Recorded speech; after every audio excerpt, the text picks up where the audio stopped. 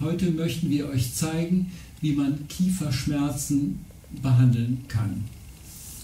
Wenn ihr nicht gerade einen Boxhieb erhalten habt oder der Zahnarzt hat euch einen Zahn gezogen, dann kommen die Kieferschmerzen eher von der Statik des Körpers her. Der Kiefer kompensiert nahezu alles, was im Körper nicht richtig steht und gleicht es entsprechend aus. Und daher möchte ich gerne wieder mit den bekannten Übungen der Mobilisation der Wirbelsäule beginnen, damit das erstmal weitestgehend ausgeglichen wird. Ihr solltet euch wieder, wenn ihr habt, auf eine Faszienrolle legen und dann entsprechend euch vor und zurückschieben, sogar bis zu den Rippen und bis zum Nacken.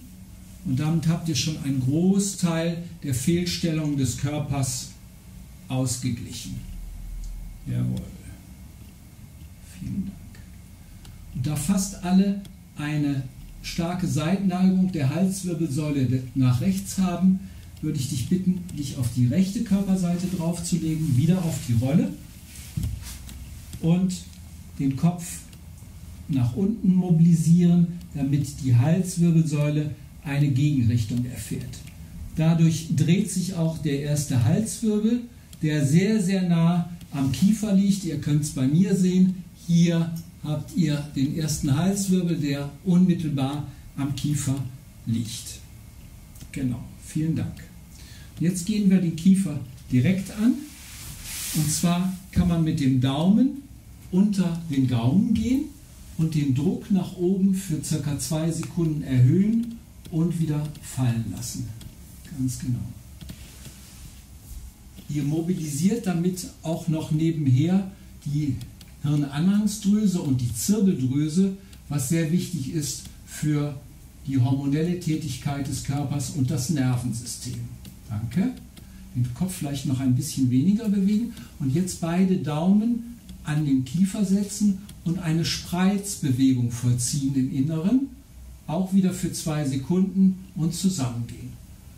Jede Übung vielleicht fünf Mal. Genau. Vielen Dank. Und um eine leichte Traktion, also ein Auseinanderbringen des Kiefergelenks zu erreichen, kann man sich hier unten etwas anhaken am Unterkiefer und hält so ein bisschen hier oben fest und lässt dann den Unterkiefer etwas unter Druck nach unten hin runtergehen. Man greift hinten relativ weit an den Backenzähnen und übt Druck nach unten hin runter aus. Genau. Zur anderen Seite auch nochmal bitte. Ja. Genau, oben greifen, vielleicht ein bisschen höher, genau, dass man was sehen kann. Exakt. Und ihr könnt mit Ringfinger und Zeigefinger auf beide gehen und dann auch entsprechend nochmal nach unten runter drücken. Also hier so ein bisschen die Stirn stabilisieren und dann hier nach unten hin runter den Zug ausüben. Ganz genau. Sehr gut. Jawohl. Dankeschön. Und um den ganzen Kiefer zu entspannen, kann man sich etwas auf die hinteren Backenzähne platzieren. Ich empfehle für zu Hause die Zipfel eines Handtuches zu nehmen.